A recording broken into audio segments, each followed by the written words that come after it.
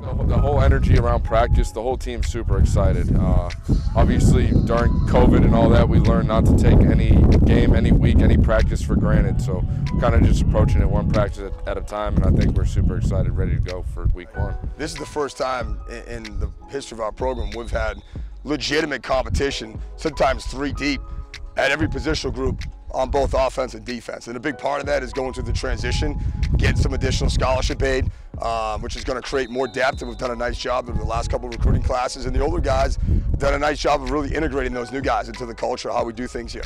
So this group's bought in. They've worked really hard. We've had a productive camp. There's still a bunch of competition right now. We're not. There's some uncertainty on who's the one or who's the two or who's the three. That's a good thing. Um, so really, I don't think there's any group in particular. Um, you know, we have some key guys that people probably recognize. Obviously, our two corners are, you know, all New England type caliber guys, and, and there's a third one in there, and Anthony Witherspoon, who's a veteran, who's been pretty good. And um, you know, I think we have some some key guys up front that we added, and obviously we got some competition at the running back spot too. So it should be exciting to see this whole this thing develops in the fall, and I'm kind of excited to see where it goes. Oh, we're definitely ready. Um, during the spring, it was different because there's no fans.